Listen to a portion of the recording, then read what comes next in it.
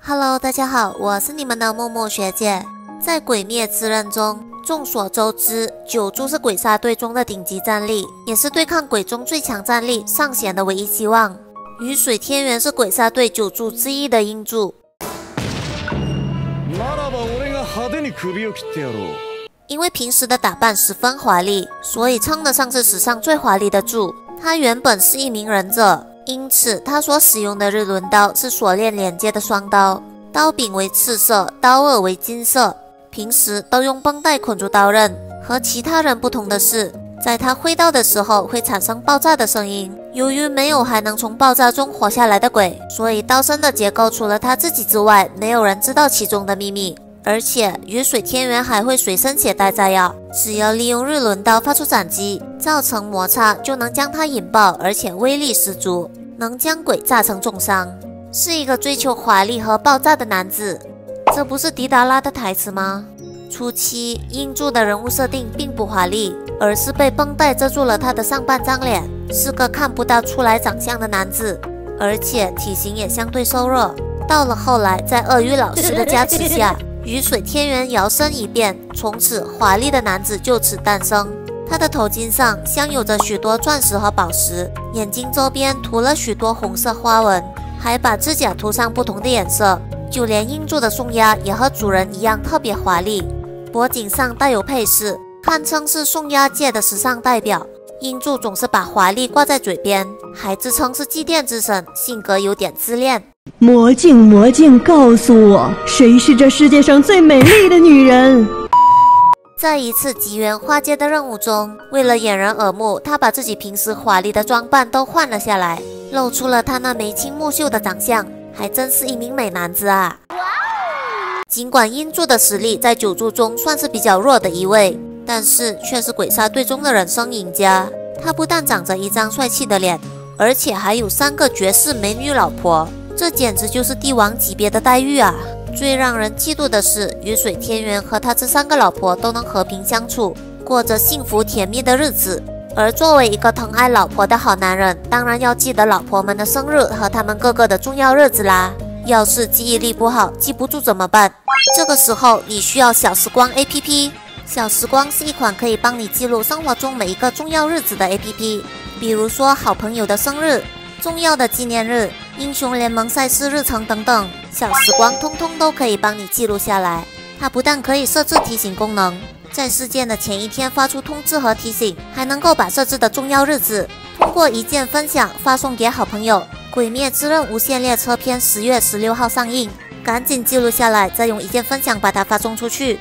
因为好东西当然要和好朋友一起分享啦。小时光还有一个更有趣的设定，那就是能让你自定义专属的静态和动态桌布，为不同的事件随心所欲地设置自己喜欢的桌布。我把《鬼灭》剧场版上映的日子设置成炭治郎的样子，看着那么治愈的小天使炭治郎出现在你的手机屏幕里，整个人的心情都变好了呢。小时光还可以帮你记住考试的时间，那样的话就不怕复习时间不够。也不会因为时间安排的不妥当而和朋友爽约，从此拥有好人缘，让你也能成为你生活中的人生赢家。小伙伴们可以直接点击下方的链接下载，或者直接搜索“小时光”就可以下载到这个多功能的 APP 哦。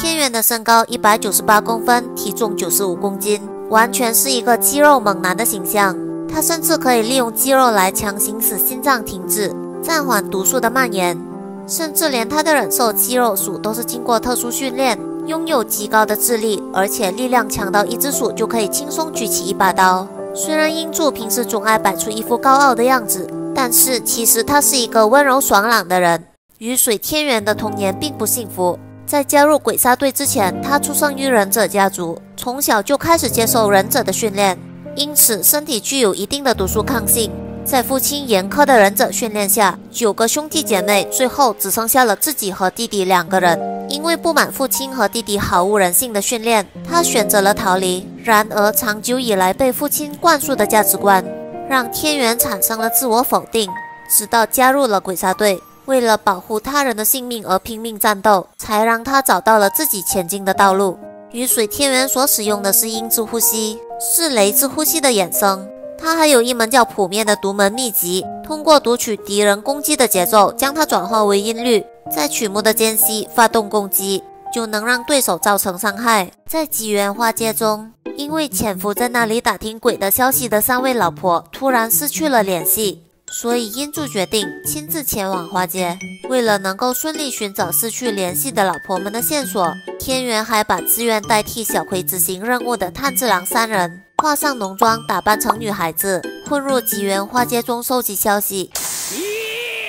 同时，天元也在暗中查探老婆们的下落。由于这只鬼能够巧妙地隐藏自己的气息，所以天元判断这很有可能是上弦鬼。在善意失踪后，天元主动向炭治郎和伊之助表达了歉意，并希望他们二人尽早离开花街，以免遇到危险。当天晚上，天元潜入了经纪屋，并从老板口中得知店中的花魁十分可疑。于是，天元先到街角店救下了妻子楚鹤，在听到地底传出了清晰的打斗声后，便轰炸开了店面，潜入地底，并且顺利找到了先前被上弦之六多姬掳走的另外两位妻子圣女和须磨，以及正和多姬缠斗的伊之助和善意。在秒杀多姬的分身后，天元立刻前往救援正在和舵姬本体战斗的炭治郎。赶到现场时，他看见炭治郎正在压制着因为鬼话而暴走的祢豆子，随后便反手将舵姬斩首，并判断出舵姬的实力并不强，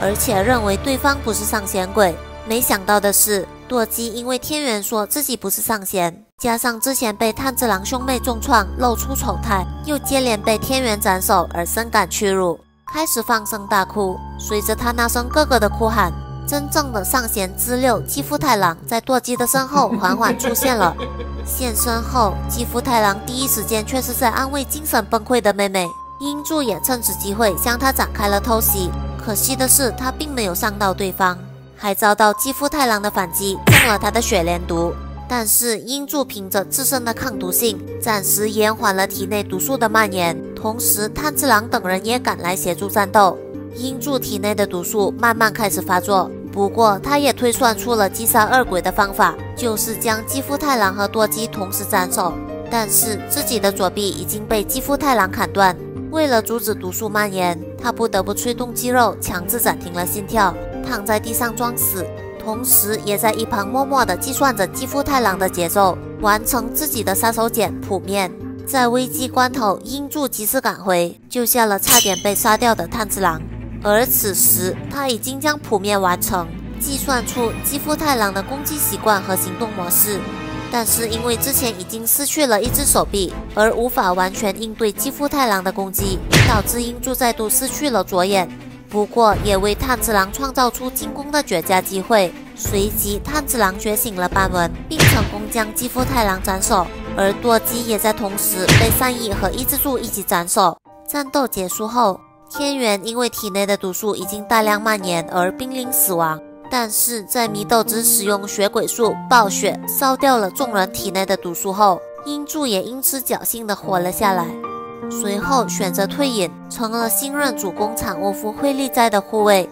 雨水天元在鬼杀队柱里面并不突出，他比不上悲鸣羽实力那么厉害，也没有无一郎握刀两个月就能成为柱的天分，更没有炼狱信受郎的面面俱到。但是在花街之战中，却留下了他华丽的身影。他的隐退给予了新人更多展示的机会，也让他有时间去培养更多优秀的新人。从此也和他三个老婆过上幸福的生活。那么本期视频就到这里结束了。若是有什么资讯错误或者不同意见，欢迎小伙伴们在底下给我评论留言。喜欢默默的，别忘了订阅点赞哦，还有记得打开旁边的小铃铛，不错过每期的更新。你的支持是我更新的动力，我们下期不见不散。